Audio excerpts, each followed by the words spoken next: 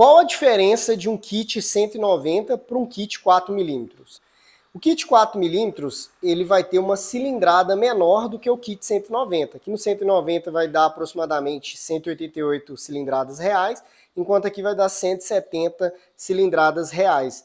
Ou seja, a gente tem uma pequena diferença de cilindrada. Logo, no kit 190 eu tenho mais torque e se os dois estiverem com a mesma taxa de compressão, eu vou ter mais torque, mais potência no kit 190, porque eu tenho uma maior capacidade cúbica interna no meu motor, certo? Agora, se eu tenho um kit 170, um 4mm com mais taxa de compressão do que um kit 190, o kit 4mm pode andar na frente. Então, a questão de andar na frente é, seja 4mm ou 190, vai muito do acerto, da configuração que o motor tem, que o 170 tem ou que o 190 tem. Mas a principal diferença é a capacidade cúbica interna. Um, o 190 tem maior capacidade cúbica do que o kit 4mm. Beleza? Quer aprender mais sobre preparação? Já segue aqui para mais vídeos